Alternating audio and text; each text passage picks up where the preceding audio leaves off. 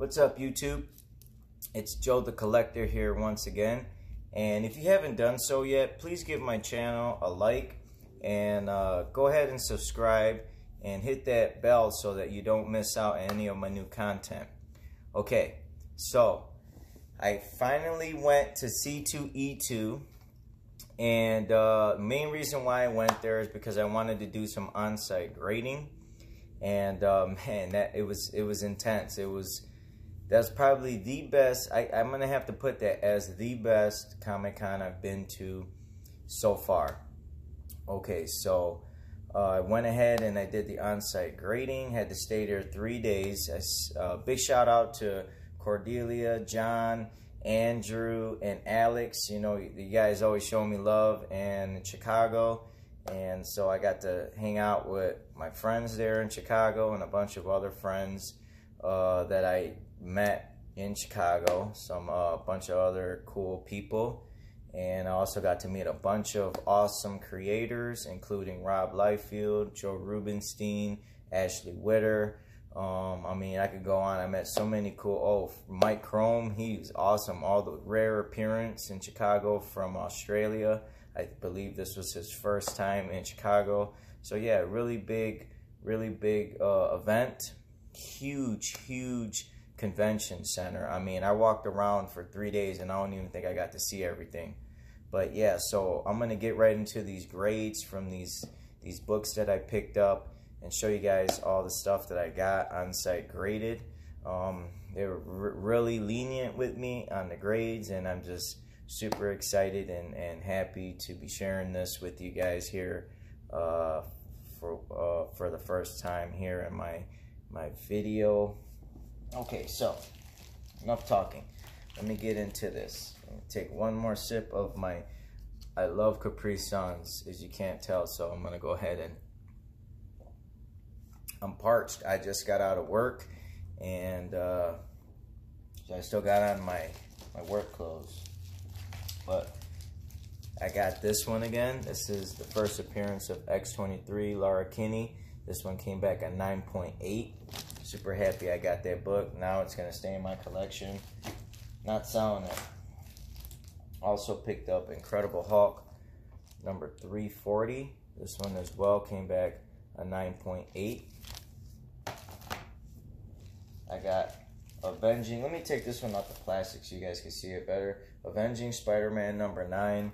The first appearance of Carol Danvers. This came back 9.8. But as you can see, this one came with the new CGC labels, which was, this was debuted at the uh, C2E2 Chicago Comic Con, and it's that's a cover by Adi Granov for Captain Marvel. Actually, I think that was where they were getting the Infinity Stones, but super happy about those. Those came back 9.8. Here goes some other ones that I got that didn't turn out as good as I expected them to. They came back kind of low grade, but Submariner number 8. Tough cover because it's black cover. This one came back 7.5. Classic cover where he's battling the Thing. I love that book. So it's part of my personal collection. So I, I just wanted to protect it. And that's why I got it graded.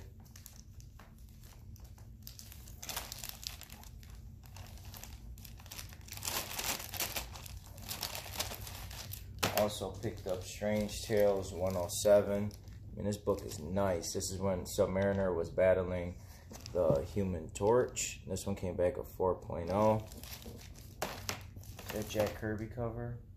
No. Yeah, it is Jack Kirby. Spider-Man 332 newsstand. This one came back low grade. 9.0. But also check these ones out. This is this one's got the new Spider-Man slab on it. Check out the new Spider-Man slab. And it's they don't give the description because where the description goes, that's where Spider-Man is at. And they did the same thing with Stan Lee. Um, before he passed away, if you had some books that were uh, R.I.P. Stan Lee, by the way, that's my boy.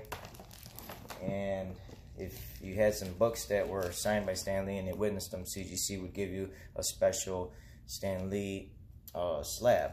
Also, I got Amazing Spider-Man 301. Super, super bummed out about this grade. 9.4 because I mean it was gorgeous, beautiful. But it's another one. It's tough. It's 9.4. A lot of these books I didn't even get pressed and cleaned. The only one I got pressed and cleaned prior to CGC grading was the Hulk 340, and it did have a, a spine row on it. And my buddy pressed it for me, and I'm so happy it came back on 9.8.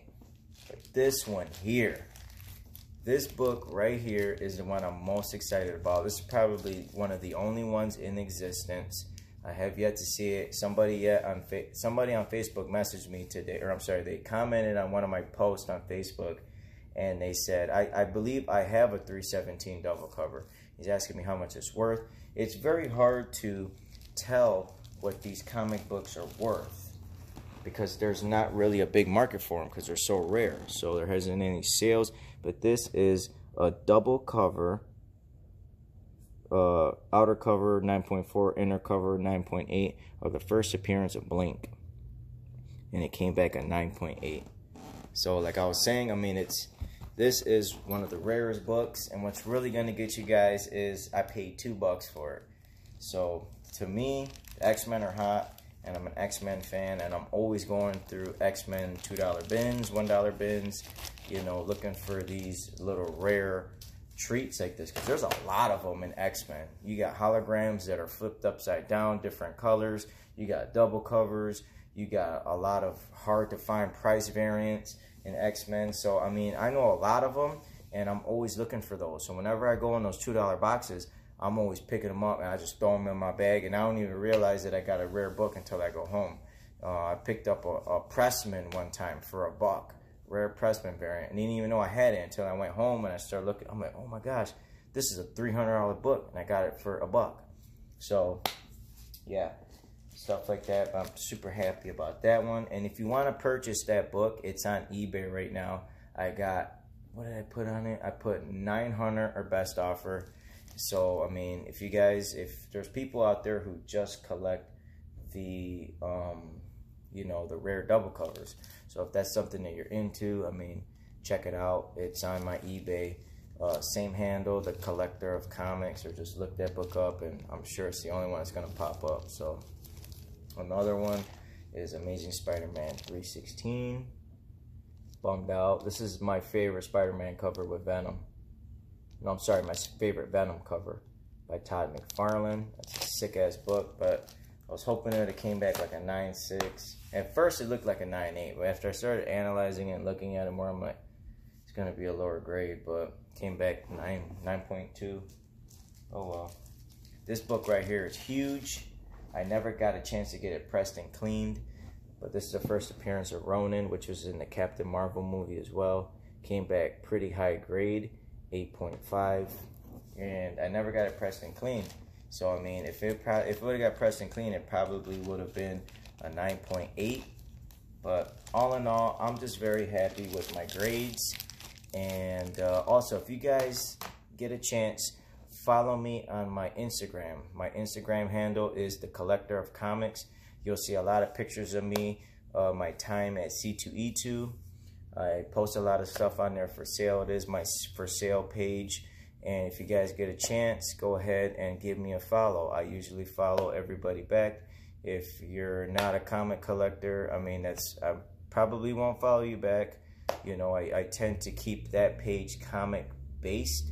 So if there's anything on there that, you know, it's really not, if, I mean, you're not a collector and I don't see comics on there, I don't see any need for me to follow you on that account. I have another account, which is my my personal account, uh, Tron 3D 2011, and that's where I usually interact with people who aren't comic book collectors. Um, but yeah, so that's basically my CGC submissions and my on-site grading experience. The on-site grading was great. Everybody there was helpful. They have a new system at CGC as well. Real quick, I want to tell you guys. You go in line, they take your name down, and they send you a text to your phone. And then when you get Excelsior, you you know you can you can go around and look and stuff and look at books and you don't have to wait in line anymore. When you see Excelsior though, you have to go back to the CGC booth and then there they'll they'll sign they'll get your books in and you know help you fill out the paperwork and all that stuff. But yeah, it was um really freaking cool experience, man. I, I was really happy to be there at C2E2 and the cosplayers there were insane. I got to meet uh, Vera Bambi and she was there. Got a picture with her, international cosplayer. Um, so it was super cool time. And uh, yeah, I'll, I'll, see you guys on the next comic uh, video. As always, Joe the Collector. Peace. One. I'm out.